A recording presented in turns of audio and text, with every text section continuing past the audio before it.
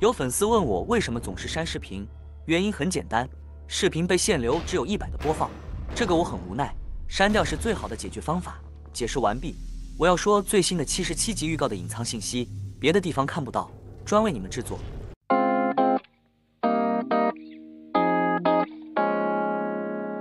完整版的预告解析我上传了两次都删了，没办法，传上来你们也看不到。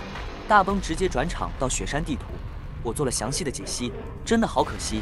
不过重要的隐藏信息我单独做这期视频跟你们分享，所以不要错过。这是关于电视博士的信息，在最新的预告截图里，他回到了电视人的基地。这里之前解析过，怀疑在阿尔法山实验室的地下门上的 logo 可以联系。然而这只是表面的信息。真正的信息来自于另外一张超级黑的图片，在提亮之后可以看到一个人类博士的样子。关于这个博士，众说纷纭，最大胆的猜测就是他是电视博士。我非常震惊这个猜测，然后再深思了一下，假如这个猜测成立，那么大崩从制作天文开始就给观众埋下了一个惊天大陷阱。相信这样的提示已经足够聪明的粉丝猜出来了。没有错，你们猜的没有错，从来没有什么外星人入侵。所有的马桶人、监控人、天文阵营都是本土原住民。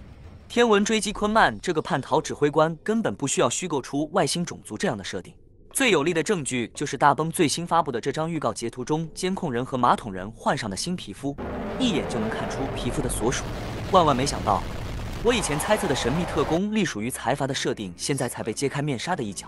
接下来你们可以看到，大崩会更多的加入现实世界发生的各种匪夷所思的内容。将马桶人宇宙打造成一个真正的现象级作品，而不是只在一个猎奇圈子里传播。立帖为证。